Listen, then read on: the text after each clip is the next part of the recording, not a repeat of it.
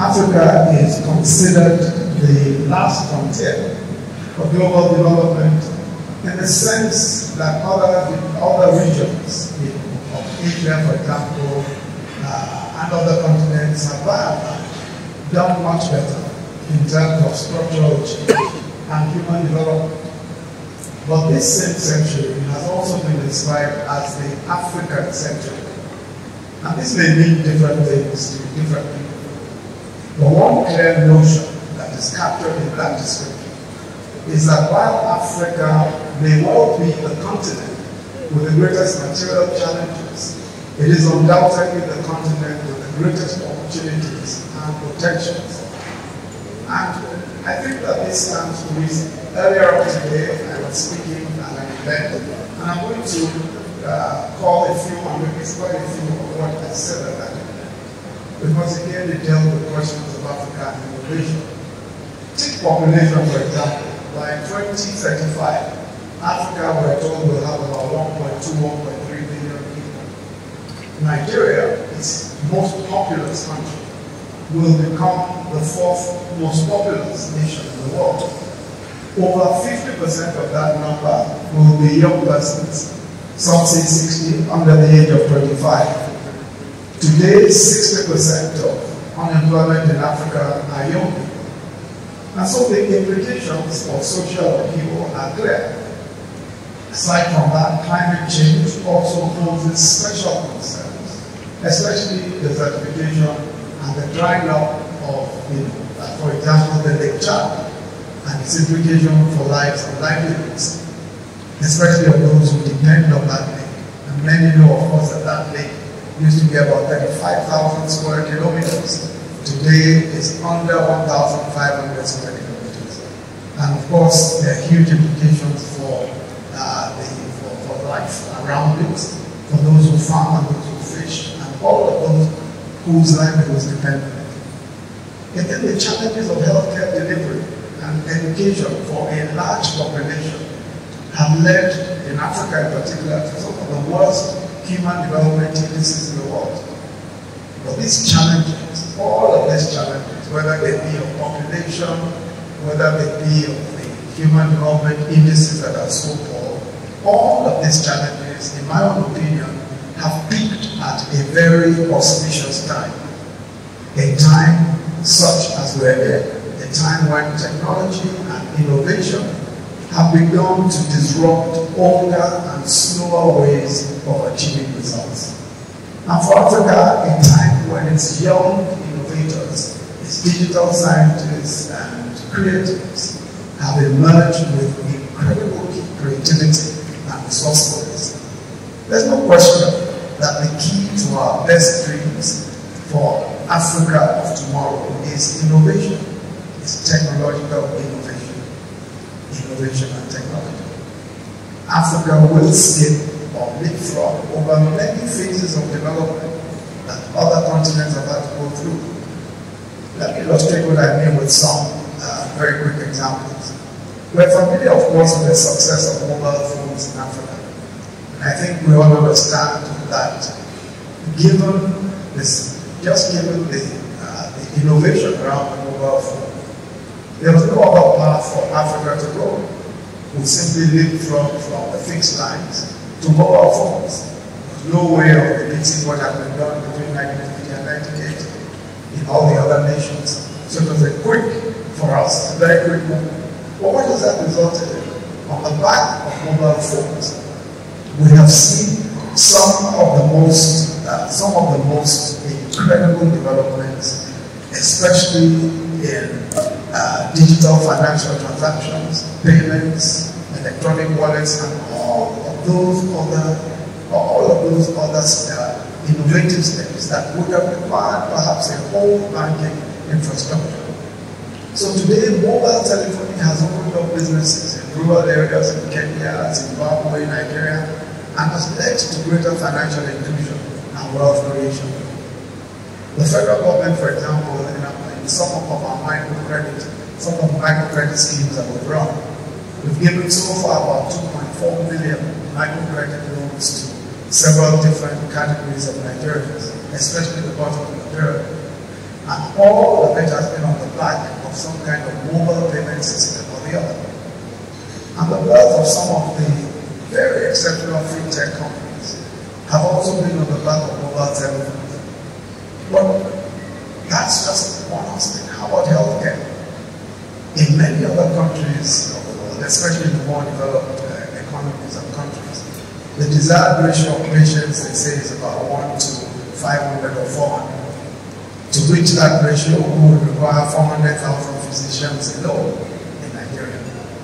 But the only way we'll be able to deliver quality healthcare to Nigerians is through a system where skilled people are augmented with intelligent innovation and technology, including telemedicine, artificial intelligence, etc.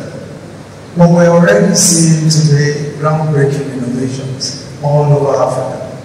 Today we have indigenous companies in Rwanda, for example, animal one started in Nigeria, delivering blood to hospitals in remote locations using drones. But there are even more remarkable innovations. There's a 28-year-old Cameroonian, Arthur Zang, who was featured recently on CNN for inventing a touchscreen heart monitoring tablet called the Cardiopad. And that Cardiopad has potential, in my to revolutionize medicine especially in remote areas. The Cardiopad provides access to health care for heart patients in remote areas who don't need to take long journeys to the cities where the heart specialists are located. So the tablet itself is equipped with four electrodes that can be attached to the patient's chest to determine whether their heart is functioning normally or not. The data is then wirelessly transmitted to the cardiopad and to the cardiopathy and then sent to cardiologists who can interpret it and then make the necessary prescriptions. Another Nigerian, uh, time in Nigerian medical, Porsche Agabi, was also featured on the same uh, platform. He created a device that can detect cancer cells and even explosives. The system merges synthetic neurobiology with traditional silicon technology and this system is quite able quickly and with, with, with remarkable accuracy determine whether cells in the body are cancerous or not. It can also, as I said, detect explosives. Of course, with the growing threats to security globally, this, this particular innovation will be revolutionary. The first to fuse like-like neurons from mice stem cells into a silicon chip but for me, perhaps the most remarkable innovation in healthcare is the work that's being done at our innovation hub in Yola in Adamawa State. It's called the Northeast Humanitarian Hub. Just last week, a group of interns designed and printed and assembled a, 3, a 3D printed prosthesis limb for an assistant superintendent of police, Mr. Tumba James, who lost his arm while on active duty. Those interns, uh, Bashir Yao, Suleiman Habib Adam, and Kabiru Adam, and their colleagues, were trained in Yola and worked with a number of volunteers with amputated limbs.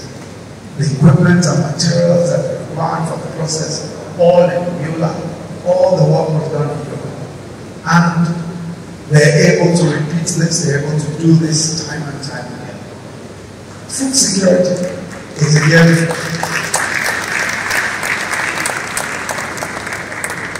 food security is also an area of need.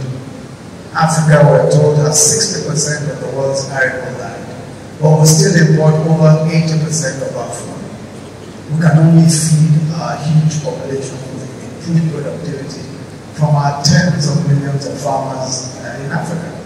But this will require access to inputs but also some accurate information about what to plant, when to plant, how to cultivate. So geospatial and satellite data and access to mechanization on an as-needed basis will be crucial.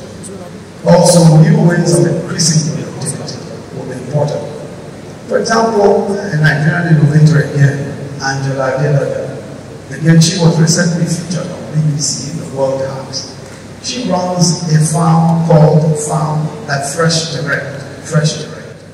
The farm uses stacked containers with a focus on supplying premium organic vegetables using hydroponics and vertical farming technology.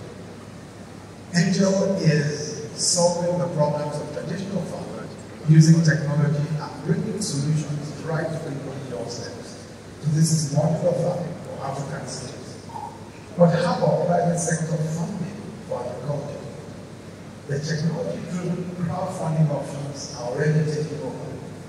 There is Thrive Agri, for example. This is an innovative agri technology startup, which is supported by Nigerian early stage venture capital fund called Ventures Platform. Thrive Agri was founded by uh, two, uh, two young men, Uka, Eje, and Ayo Arika. One of them a farmer, the other a software engineer. The company leverages technology to aggregate finances for smallholder farmers. They also provide inputs and farm extension services that, you know, so they're able to improve farm yields and they're able to, they've been able to do so fourfold for thousands of ordinary farmers across the country. So there is, so already, Thrive Agri is there's another called Farmcrowdy. These are new innovative ways of bringing private capital to, uh, to agriculture. Most of the investors, of course, never ever get to see the farms. All they wait for was their dividends. How about power? It's clear that power problems will also be largely solved by the multiples of disruptive innovations that we're seeing. The days of the traditional model, one national grid, fed by large power stations are numbered. The smarter and more scalable options are using renewable energy sources, power, uh, solar, wind, biomass, and waste power. And the possibilities are limitless. Recently, the Nigeria Climate Innovation Center, uh, that is located at the Lagos Business School. It's, it's jointly owned by the federal government, uh, the Lagos Business School, and, and um, some other, one or two other investors. They recently concluded their climate launch pilot and came up with some very innovative ideas. One of them is a company called New Digits that has developed a process of generating power from water. The product uses water and a conformed solar cells to generate energy for electricity and cooking. It works by collecting water automatically from any piping channel in the house. It breaks down the water into hydrogen, which is used then to cook and to power the entire house without the need for batteries of any kind. Another company called Power Stove Energy, founded by three uh, young, uh, uh, three young Nigerians, OK, Abdulaziz, and Glory. They produce a low-cost, clean, smokeless. Power Stove Energy is the first clean cook stove to be fitted with self-powered uh, Internet of Things cloud system to monitor in real time a single day of cooking, the amount of, of, of uh, CO2 and biomass that is saved, the black carbon that is prevented, and the total electricity that is generated. All of this can be monitored. Secondly, Africa is leading the way in, in, in a number of different innovations different ways of thinking as innovators figure especially in this power sector, how to produce power in new storage technologies. And this, of course, also means that soon power will become possible. Of Nigeria's 180 million people, we know, of course, that over 20 million households have no power. But as part of efforts to diversify power sources in order to improve access, we started a program of providing solar power with private sector support in 20,000 homes in rural villages. And that is then multiplied in uh, 20, the first phase is 20,000. We started in a, in a village just outside Abuja called Wuna. Wuna is an agrarian community, it's not on the national and there is no other power source. To charge their phones, uh, there is a small entrepreneur with a small generator, and he runs a service. So if you want to charge your phone, you take it to the, to the shop once a day, you pay a small fee, and it charges. Life in Wuna used to shut down at about 7 p.m. until daylight. But working with a PPP model, as I've explained, and the government-owned NDPHC, we partnered with Azuri Technology, a private solar company, to provide a domestic solar solution. Azuri provided that same end-to-end service in East Africa, a solar home system, including a payment system. The solar equipment itself costs under 2,000 naira, and, and that includes the cost of power for a five uh, for about uh, an eight-hour day. Every home has one mounted on the roof, and for the first time in its existence, the village now has running water, solar power. The school also has power.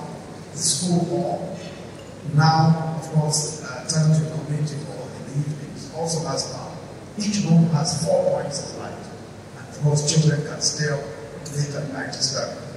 The women can process their millet and yams at night. New jobs, of course, have been created.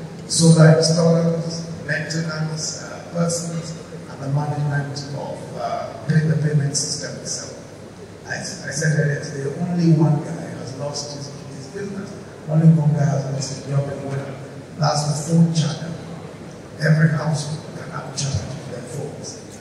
But on a much larger scale, we have facilitated private solar power supply to markets across Nigeria using new extra power lithium cells.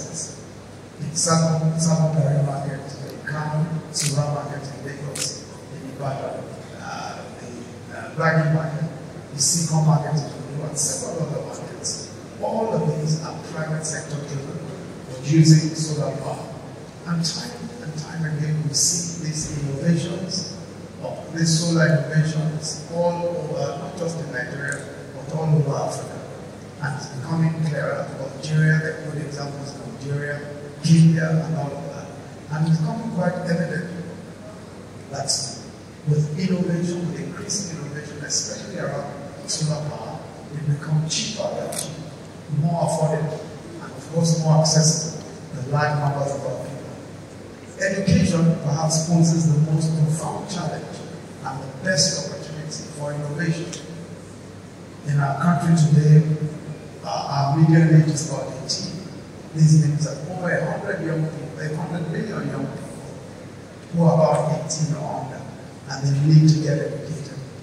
And of course, in higher quality that we're delivering today, they also need regular training for the new opportunities being created by technology and innovation. So a new curriculum is by itself an innovation challenge. And we're currently working with MIT, with Cisco, and a few other technology in developing a digitally compliant curriculum for primary and secondary education. The only way to do the massive numbers of young people is through technological innovation that can deliver not just the best curriculum, but also the best teachers to the highest number of people and to the highest number of pupils and students. We experimented with reaching large numbers of persons with teaching aids and instructional materials in our program. The program has engaged 500,000 graduates, some as teachers, some as extension workers, and public volunteers. Each of the first 200,000 is equipped with a tablet which contains instructional materials, and every one of them has access to an open portal that has training materials on topics from entrepreneurship to code writing and programming. All of these half a million beneficiaries engaged online, trained, and paid everyone electronically. We're now set to adapt these games to an online teacher training and retraining program. Training for the new jobs in technology and innovation also. All of these, of course, can now be done electronically. And this is gaining momentum. The federal government, for example, for example is investing in expanding the work of training developers data scientists and artificial intelligence experts for quality jobs locally and internationally. This was partly pioneered by Andela, a company co-founded by Nigerian uh, young Kanini Aboyeji, a technological innovation fund from AFDB, BOI, and recently announced uh, CBN Bankers Committee 200 billion naira fund will focus on funding some of these training initiatives. It is very clear that there is so much that is being done. Of course, there's so much opportunity to do even much more. And I say for good or for ill, because any or either scenario is possible. Given the checkered history of African development, it's not always the case that we follow the glaringly obvious path to progress and development. If Africa fails, the global impact will be unimaginable. Especially because, if, but if, of course, if Africa succeeds, that impact will even be, even uh, that, that impact will in itself be something that we will be talking about for generations to come. But I am completely confident, especially because the future belongs to the young, to the youth of today, that Africa will for certain succeed. And we're already beginning the signs today. May I again congratulate uh, Mr. Pascal Dozie on his 80th birthday. Unfortunately, uh, you cannot uh, rest just yet for two reasons. The first is that your experience and influence and wisdom is needed now more than ever. But if you are not persuaded by that, then the second reason is a scriptural. At 90, God gave Abraham a new mandate. God said to Abraham that he must now get ready to begin his work anew. I paraphrase the scripture. So, you, in your case, you are only 18. And you have 10 more happy, healthy years before you get to Abraham's age of 90. So you have no excuse whatsoever. I pray that you will see many more years in peace and joy.